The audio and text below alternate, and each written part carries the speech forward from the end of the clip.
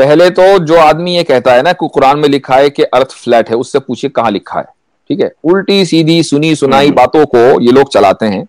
पता इनको होता नहीं कुछ ठीक है? वही Exactly, आ, फिर फिर वापस मैं। फिर वापस तारीख फतह को लेकर आऊँगा ये भी उसी ने बका है ठीक है? ये भी उसी ने बका है। अच्छा।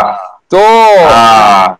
बहरहाल तो सबसे पहले उनके पास कोई उसका रेफरेंस नहीं होगा कोई नहीं बस Exact- कुरान में लिखा- भाई कहाँ लिखा है? मुफ्ती साहब मुफ्ती मुफ्ती साहब ये एक मिनट आपको रोकूँगा ये ये जिस बंदे का एतराज़ है ना ये आपने एकदम सही पकड़े कि वो बंदा तारिक फतेह का चेला है। तारिक फतेह की किताबें पढ़ता रहता है अमेजोन से मंगा के और उसी का ये एतराज़ था। एकदम आप बिल्कुल राइट गए आप। आ, अब मैं आपको बताता हूँ कुरान करीम सबसे पहले तो बुनियादी फ़र्क ये समझ लीजिए कि कुरान साइंस की किताब नहीं है। हम्म, ठीक है? कुरान हमें साइंस सिखाने के लिए नहीं आया कुरान हमें हिदायत देने के लिए आया है।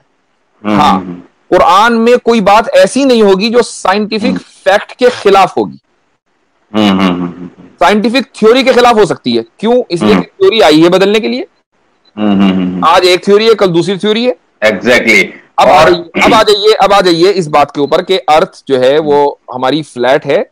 कुरान में कुरान हम्म। में क्या कहा गया कि या वो राउंड है। हम्म, हम्म, इसमें सूर्य रहमान सब जानते हैं। हम्म। सूर्य रहमान बहुत हम्म। मशहूर सूरत है कुरान की। उसमें एक आयत आई है या माशर अल जिन्नी इन इस्ततातुम अन तनफुजू मिन अख्तार इस्समावाति वल अर्दि फनफुजू कि ए। जिन और इंस जिन और इंसान अगर तुम इसका अंग्रेज़ी तर्जुमा जो लोग अंग्रेज़ी समझते हैं उनके लिए भी कर दूँ if you want to escape मिन अख्तार समावाति वल from the diameters of heavens and earth diameters का। लफ्ज इस्तेमाल हुआ है कि अगर तुम। आसमानों और जमीनों के डायमीटर से भागना चाहो तो भाग के दिखा दो राइट अच्छा एक छोटी सी मामूली सी नॉलेज रखने वाला इंसान है ना?